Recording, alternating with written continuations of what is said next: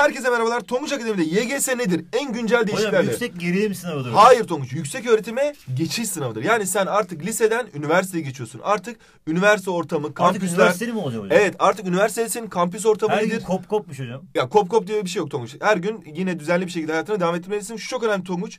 Yüksek öğretime geçiş sınavında bazı değişiklikler oldu. Önemli değişiklikler oldu. Bunları da hepsini güncel bir şekilde aktardık. Hatta matematikte yaşanan değişimleri de ayrı bir videoda tek tek belirttik. Bunları da izlemelisin Tonguç.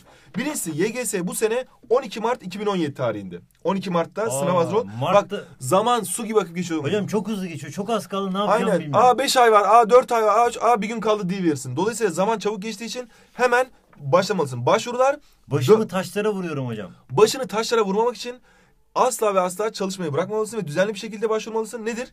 4 Ocak ve 18 Ocak arasında başvurular var Tonguç. Başvuru tarihleri bu Başım tarih. vuruyor mu hocam ben? Ya orada espri yapmaya çalışmışız. Güzel bir espri olmamış ama yine de sen başını vurmamak için taşlara çalışmadın. YGS giriş şartı nedir Tonguç? Müslüman olmak hocam. Ya öyle bir şey yok Tonguç. Müslüman da olsan, Musevi de olsan, Hristiyan da olsan girebilirsin. Burada en önemli şart lise mezunu olması. Yani lisenin son sınıfında olmalısın ya da mezun olma durumunda olmalısın. Neden?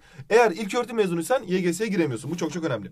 YGS'ye en fazla kaç kez girersin Tonguç? Hocam ben en fazla hiç girmeyeyim hocam lütfen ya. Yo yo Hiç gir Tonguç sen bence iyi bir öğrencisin girmelisin. YGS'ye istediğin kadar girebilirsin. Mesela ben bile girebilirim şunu YGS'ye. Dedem bile girebilir. Yeter Allah ki Allah. lise mezunu olan herkes YGS istediği kadar ömrü boyunca kaç defa girmek istiyorsa o kadar girebilir. YGS kaç soru var biliyor musun Tonguç? Birincisi Türkçe testinde 40 soru var. 40 Aman tane Allah. soru çok güzel. Matematik testinde yine 40 soru var. Bu da çok çok lokum. önemli. Sosyal bilimler testinde yine 40 soru var. Oha şaka gibi. Fen bilimleri testinde yine 40 soru var. Burada sosyal bilimler testinde 45 soru var gibi çünkü din dersinden muaf olanlar bir 5 soru daha çözebiliyor felsefede. Ama temelinde herkes 160 sorudan sorumlu. Toplam kaç soru var demek Tonguç? 170. Hayır evladım 4 kere 10 10, soruda 4 kere 40 160 eder Tamam. evladım. Sen bence matematiğe çalışmalısın. soyadımı soruyorlar. Neyse 160 soru ve toplam süre kaç dakika biliyor musun Tonguç? Hocam e, 160 soruya mak minimum en az 5 saat vermeleri gerekiyor. Hayır Tonguç 5 saat değil 160 dakika veriyorlar. Dolayısıyla her Oo. soru 1 dakika zamanla da adeta yarışıyorsun Tonguç. Baraj nedir biliyor musun Tonguç? Hocam baraj elektrik üretmek için kullanılan, e, Çok günümüzde hidroelektrik santral olarak bilinen HES'lerdir Harika. hocam. Harikasın çok güzel. Hidro- Ama bu o baraj değil. Bu baraj 150 puan ve 180 puan üzeri alanlar için kullanılan bir tabir. Eğer ön lisansları tercih etmek istiyorsan veya açık öğretim fakültesinin lisans ve ön lisans bölümlerini kazanmak istiyorsan İngilizce öğretmenliği hariç 150 puan ve üzeri alman lazım. Bak Tonguç geçen seneye kadar 140 puandı. Yani Aa. 16 net yapsan geçebiliyordun barajı. Ama şimdi 20 net yapmalısın ki 150 puan... Barajı ek mi yaptılar hocam? Evet baraj ek yaptılar biraz da Kaçak yükselttiler. Yani biraz daha yüksekten atlaman Belediye gerekiyor. şikayet edin. 180 puan ve üzeri aldığın zaman da LYS'ye yani lisans yerleştirme sınavına yani bu 4 yıllık fakülteler var ya hani Evet tıp hocam. fakültesi, hukuk fakültesi, mühendislik fakültesi bunları ka- bunları Ben kaz- mühendis olmak istiyorum hocam. o zaman Tonguç hem YGS'den hem de LYS'den iyi puan almalısın. Babam kaldırım mühendisi olursun dedi hocam. Olabilirsin mantıklı. Gelecek kaldırım mühendisliği Tonguç. Bu meslekte geleceğin mesleklerinden biri. 180 puan ve üzeri alabilirsen LYS'ye girebilirsin. Dolayısıyla YGS esasında bir aşama gibi, bir- birinci aşama gibi.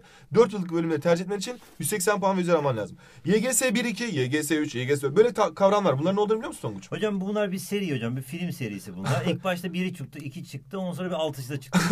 Çok güzel. Öyle değil. Bunlar ne biliyor musun Tonguç? YGS 1 ve 2 sayısal puanla öğrenci alan bölümler için. Yani mühendislik, matematik öğretmenliği, matematik bölümü, fizik bölümü. YGS 3-4 sözel puanla. Türkçe öğretmenliği, edebiyat öğretmenliği, radyo, televizyon gibi bölümler için. YGS 5 ve 6 ise TM puanıyla. Burada ya- yanlış TB olmuş. demişiz. TB değil de temel bilimler gibi olmuş. TM. Türkçe matematik puanıyla öğrenci alan bölümler için. Yani işletme, iktisat, uluslararası ilişkiler. Ben hangisiyle girmem gerekiyor hocam? Tonguç sen hepsinden girebilirsin. İstediğinden girebilirsin. Yeter ki hangisinde kendini daha iyi hissediyorsan oradan gir. Eğer mühendis olmak istiyorsan tabii ki YGS 1 ve 2'deki çok dikkat etmen lazım. Peki YGS puanları kaç yıl geçer Tonguç? Bunu biliyor Hocam musun? YGS puanları ya önümüzdeki e, 100 yıl boyunca geçerli kalacak. Hayır Tonguç. Hangi sene girdiysen sadece o sene geçerli. Mesela bu sene 2017 YGS'ye girdin ya. O puanlar sadece 2017 yılında geçerli. Yani 2018'de yani gelecek sene veya bir, bir sonraki senelerde bu YGS puanı geçerli değil. Hangi sene girdiysen o sene geçerli. Netlerin belli olacak, puanın belli olacak ve bunları net bir şekilde e, sadece kendi girdiğin sene kullanabilirsin. Peki YGS sınav giriş belgen geldi mi Tonguç? Hocam geldi. Hayır. YGS sınav giriş belgen Hayır. hayır gelmedi. Niye? Artık sınav giriş belgesini sen Hocam A, geçen ise- gün bize gelen şey değil miydi? Zarf değil miydi hocam? Hayır sana zarf atmışlar Tonguç öyle bir şey yok. A ise ÖSYM Go.tr'ye giriyorsun. Oradan çıktısını alıp siyah beyaz olabilir ama arkası boş olması Hayır, yeterli. göndermiyorlar yani. Göndermiyorlar. Şöyle bir kağıdı print alacaksın. Arkası boş olması yeterli ve siyah beyaz ya da renkli olabilir hiç fark etmez. Bu çıktı belgesiyle gidiyorsun. Yani ÖSYM... evdeki printer bozuk. Ne yapacağım hocam?